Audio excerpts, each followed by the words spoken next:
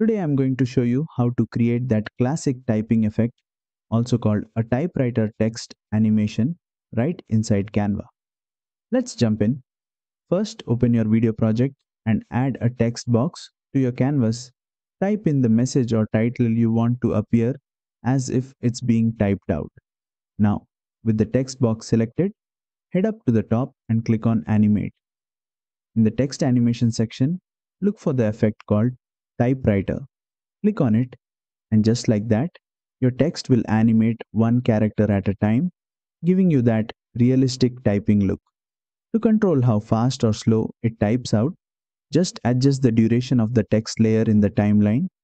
The longer the layer, the slower the typing animation appears. It's perfect for intros, dialogue pop ups, or adding some drama to your titles. And that's it. You've now added a smooth typing text animation in Canva. If this helped, don't forget to like, share, and subscribe for more Canva video editing tips.